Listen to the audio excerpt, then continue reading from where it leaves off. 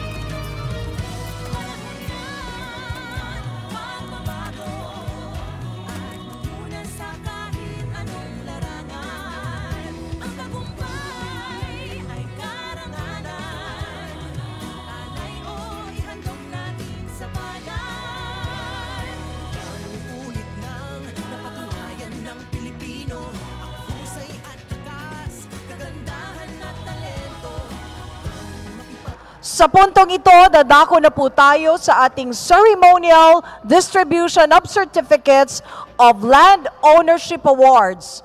Hinihiling po natin sa ating mahal na Pangulo na magtungo sa stage upang pangunahan ang pamamahagi ng certificates sa ating piling beneficiaries. Inaanyayahan din po natin si Secretary Estrella upang samahan ang ating Pangulo sa pamamahagi. Atin na pong tawagin ang piling agrarian reform beneficiaries na tatanggap ng Certificates of Land Ownership Award na may kasama ng tax declaration na sina Mr. Julian B. Aga ng Candaba.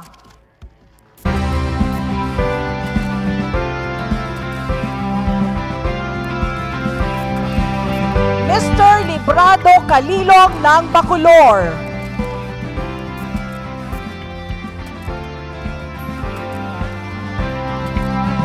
Miss Corina M. Gases ng Candaba.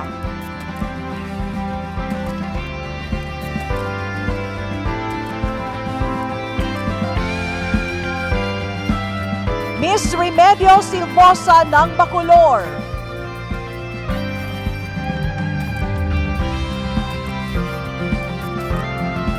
Mr. Romeo S. Gulapa ng Candaba.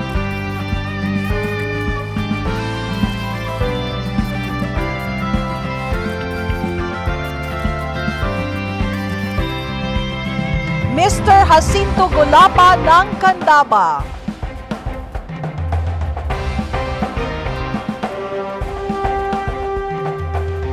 Mr. Roncali Yalong ng Bacolor.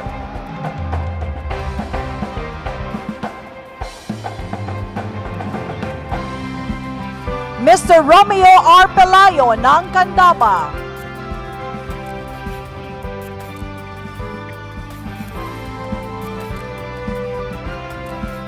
Mr. Romel P. Maniaul ng Candaba.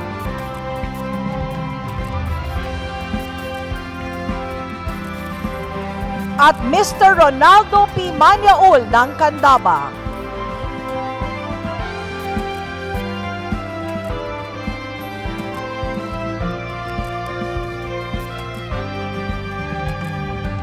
Ngayon naman po ay dadako tayo sa pamahagi ng Certificates of Condonation with Release of Mortgage.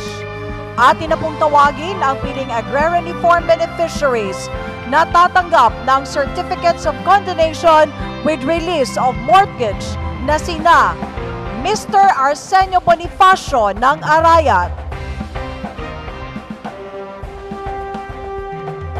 Mr. Nestor Sanggalang ng Candaba.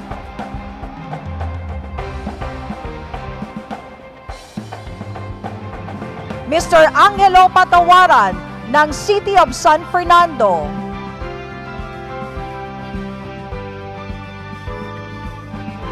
Mr. Fernando Palo ng Mabalacat.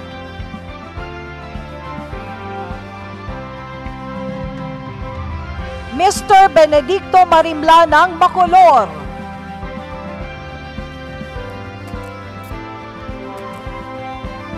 Mr. Rafael Valenzuela ng Florida Blanca. Mr. Jesus Cruz ng Florida Blanca. Miss Teresita de Maquiasias ng Florida Blanca. Mr. Malakias Bilyeza ng Lubao.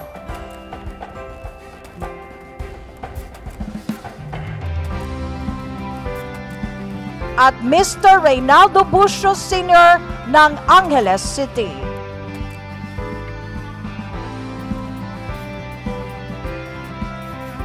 Maraming salamat po, mahal na Pangulo, at congratulations sa ating Agrarian Reform Beneficiaries. Sa puntong ito, inaanyayahan po nating muli si Agrarian Reform Secretary Conrado Estrella III upang ipakilala ang ating panauhing pandangal. Ladies and gentlemen, the President of the Republic of the Philippines, His Excellency Ferdinand R. Marcos Jr.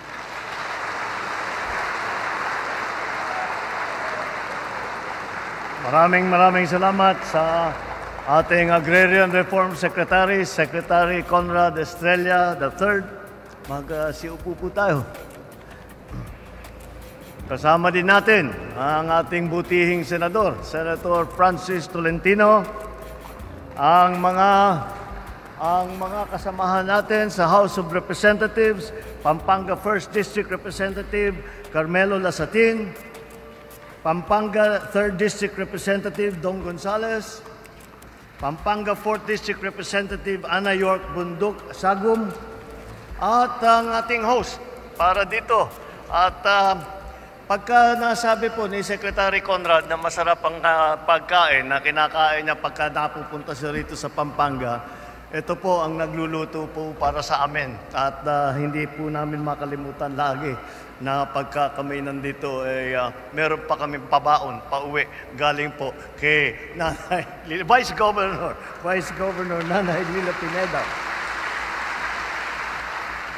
Ang mayor ng ah, Bacolor, Mayor Eduardo Dato, lahat ng ating mga opisyal sa lokal na pamahalaan, aking mga kasamahan sa pamahalaan, ang at ang pinakamahalaga na kasama natin ngayong araw na ito, kayo po ang mga agrarian reform beneficiaries na sa wakas makakatanggap ng titulo at kasama na ang condonation para sa utang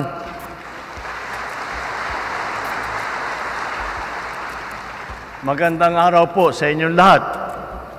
Maraming salamat po sa mainit na pagtanggap ninyo sa amin. Sa tuwing nakikita ko sa aking kalendaryo na may nakalagay na Distribution of Certificate of Land Ownership Award o tinatawag na CLOA at kasabay ang Certificate of Condonation with Release of Mortgage o yung tawag naman natin ay COCROM. Talagang hindi, ako ma- hindi ko mapigilan na bilangin ang mga araw hanggat ako'y makarating sapagkat ang pagtitipon na ito, sapagkat ang pagtitipon natin na ganito ay nangangahulugan na makakapaghatid kami sa inyo ng serbisyo na pinakamahalagang parte ng aming trabaho. Nitong mga nakaraang linggo, anim na sunod-sunod na bagyo ang dumaan sa ating bansa, nagdulot ng napakalaking pinsala. Kasama sa mga lubos na naapektuhan ng mga kalibidad, na ang ating mga magsasaka na ang kabuhayan ay madalas na nakadepende sa panahon. Ngunit sa pagkakataong ito, nais po namin mabawasan ang inyong iniisip at inaalala. Kasama ng kagawaran ng reformang pansakahan na pinangungunahan ni Kalihim Conrad Estrella, na, na, namamahagi po kami ng 30 klowa sa 28 Agrarian Reform Beneficiary o ARBs at halos 3,000 kokrong sa kulang-kulang 2,500 benepisyaryo ng reformang pansakahan. Sa kabuuan po, nakakahalaga na mahigit dalawang daan at anim na milyong piso ng utang ng mga magsasaka ay burado na po, wala ng bisa. Kasama na rito ang amortisasyon, ang interest at iba pang mga surcharge na nakakaangkla sa inyong mga lupang sakahan sa loob ng napakahabang panahon. Simula ngayon, Pinapalawang bis, pinapawalang bisa na po natin ang ating ang inyong utang sa lupang ipinagkaloob sa inyo sa ilalim ng reformang agraryo. Isa pa, isa pa, isa pa ito sa talaga na ating mga layunin. Isang hakbang ito upang pagtibayin pa ang sektor ng agrikultura at matulungan na may angat ang antas ng pamumuhay ng ating mga magsasaka. Lagi ko pong naikikwento sa ating mga magsasaka na kami ni Secretary Conrad ang uh, nagpapatuloy na nasimulan ng aking ama at ang kanyang lolo. Dahil po, nagsimula ang reformang agraryo sa administrasyon ng aking ama. At kasama naman niya yung kanyang kalihim ng DAR. Ang lolo naman is Secretary Conrad na kapangalan din niya, Conrado Estrella. At ngayon, sa ilalim ng administrasyong ito, aking nilalagdaan, nilagdaan ang New Agrarian Emancipation Act na siyang nagpapalaya sa ating mga magsasaka mula sa pagkakautang sa lupang pang-agraryo. Si Secretary Conrad naman ngayon ang kalihim ng DAR na nagpapatupad nito. Kaya naman, ang buong sigasig, sa buong sigasig namin ni Secretary Conrad na kailangan na ipagpatupad namin ang programang ito, naniniwala kami na nararapat lamang na mas pag-ibayuhin ang kakayahan ng ating mga ARBs o ng ating mga beneficiary. Patuloy ang pamahalaan sa pag-iisip ng mga makabagong paraan upang lalong mapaunlad ang sektor ng agrikultura. Kaugnay nito, nagpulong kami kahapon ng iba't ibang ahensya ng gobyerno kasama ang pribadong sektor. Dito nagmungkahi ng mga hakbang na paramihin pa ang ating mga seedling nursery na sa, sa buong bansa para mapaigting pa natin ang pagtatanim ng mga gulay at bigas. Ito po yung programang ginawa po namin ay yung seedling production. Para po ang ating mga magsasaka ay ang kanilang ginagamit na variety na itatanim, hindi lamang na palay, kundi pati na ang mga gulay, yung pinakamaganda at ah, sapat na hindi na tayo nag import nag import pa tayo ng mga seedling, dapat kayang-kaya naman natin gawin dito sa Pilipinas. Kaya't yan po ang ating bagong programa para paramihin ang seedling production dito sa Pilipinas. Hindi na tayo mag-import at kasama dyan ang ating mga magsasaka. Pinakamagandang seedling ang kanilang gagamitin sa kanilang pagtatanim.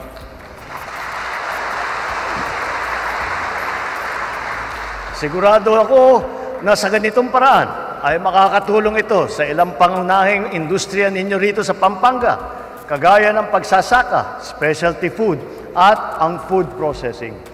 At hindi lang pala rito, hindi lang kilala ang ah, mga kapampangan. Nabalitaan ko ang inyong lalawigan ang pinakamalaking supplier ng itlog dito sa Central Luzon na kumakatawan sa 17% ng kabuwang produksyon ng itlog sa buong Pilipinas. Sa tulong ng Partnership Against Hunger and Poverty Program ng gobyerno, Isa sa mga kapuri-puring kontribusyon ng inyong probinsya ay ang patuloy na pagsusupply ng itlog sa ating mga persons deprived of liberty o yung tinatawag ng mga PDL sa mga bilangguan o BJMP na facilities. Ang programang ito ay isang halimbawa ng magandang pagtutulungan ng pribadong sektor at ng pamahalaan. Talaga naman pong napakalaki ang maitutulong ng kababayan nating kapampangan sa pangkalahatang pag-unlad ng, ng ating bansa. Ang mga proyektong gaya nito ay nag-uudyok sa amin na maging mas porsigido pa sa pag-abot ng tulong. Naway magsilbing inspirasyon din ang aming handog ngayong araw para sa panibagong yugto sa inyong mga buhay kung saan hindi lamang kayo at ang inyong pamilya ang aasenso, maging ang buong bansa ay kasama ninyo sa inyong tagumpay. It- Ito po ang aking panawagan. Magkaisa tayo sa pagtatanim ng mga binhi ng pag-asa para sa bagong Pilipinas. Muli, maraming maraming salamat sa inyo lahat. Mabuhay ang ating mga magsasakang Pilipino. Mabuhay ang lalawigan ng Pampanga. Mabuhay ang bagong Pilipinas. Maraming salamat po, mahal na Pangulo.